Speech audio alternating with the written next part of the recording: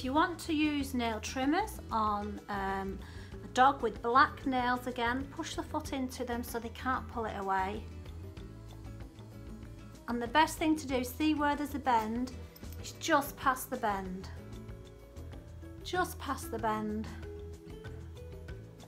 Gently squeeze and just trim it off bit by bit.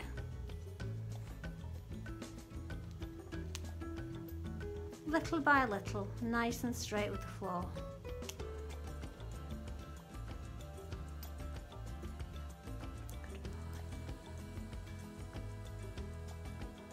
Squeeze it gently. If you've gone too far, before you actually cut it, the dog will let you know.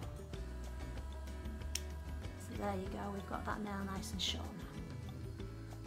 I like to finish off with the nail file just to get the quick to receive back as much as possible.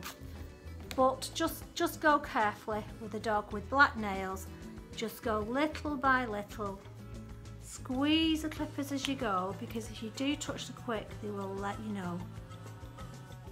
Little by little. And then I finish off with a, And there we go. So that's how to do a black nail. So here I have Milo and Milo's got really black nails. Um, so using this is a really good way to keep them nice and short, to file them down and, and not to be wondering where the quick is because on a black nail you just can't see anything, you can't see the quick whatsoever. So this is a great way, he's nice and relaxed, aren't you?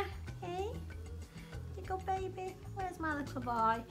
And I can get all his nails filed down at the same time.